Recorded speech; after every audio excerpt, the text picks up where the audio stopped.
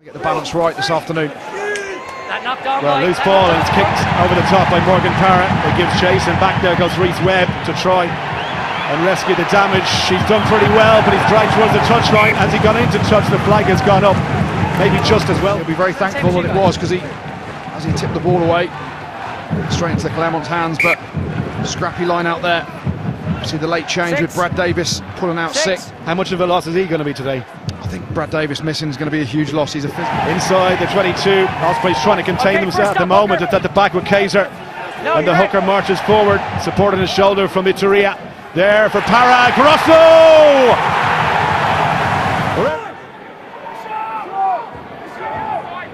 Red steadying himself for the box kick. It's blocked down. Red by Parra. Dirksen under pressure. Tackled by the Clermont captain. Having to die with the ball. There for Kayser. Pick and go by the hooker.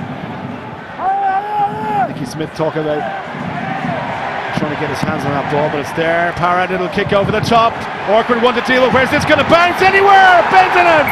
Down. This should be 7 0.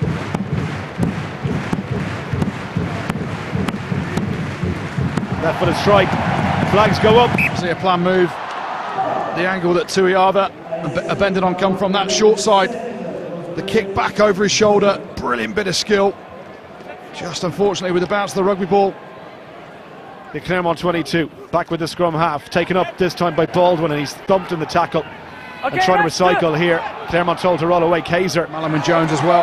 Getting up in the air and Parra takes the reverse pass. McAllister again looking to let the back line go.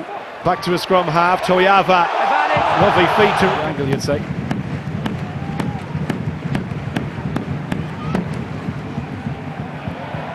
It's 64 points, the highest point score in the Champions Cup. at the minute. 86% is in the Clermont Arsenal, and this one looks to be bang on target. It is on target. Pretty much every time it's going straight through the middle. Ospreys again going for distance on the restart. Ball's still there for the Ospreys. It's gone loose now. No protection. Biggar did really. Oh,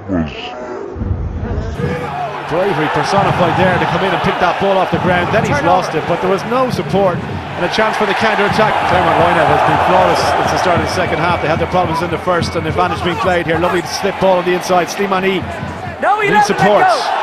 Never regained your feet. Benjamin went in again, breaking the line really quickly. Parra Lamara with a little chip. He's going to have to allow for that as well.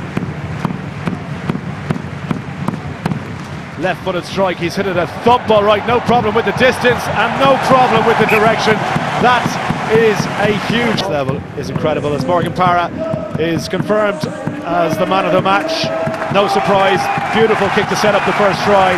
Flawless with the boots, and he's been a menace as well around the fringes. Yeah, he certainly has. Punches way above his weight. Even